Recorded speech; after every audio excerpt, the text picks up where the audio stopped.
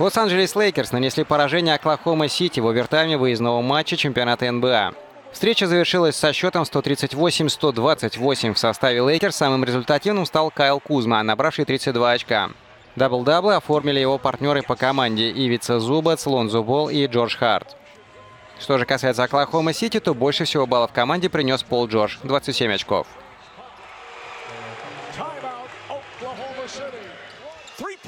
Тем временем напряженнейший матч прошел между Вашингтоном Уизардс и Нью-Йорк Никс. Волшебникам удалось вырвать победу буквально на последней секунде и с минимальным преимуществом. Под конец встречи центровому хозяев Томасу Брайанту удалось заработать 2 очка. Мяч после его броска был сбит перед попаданием в кольцо. Итог матча 101-100. Для Никс это поражение стало пятым подряд.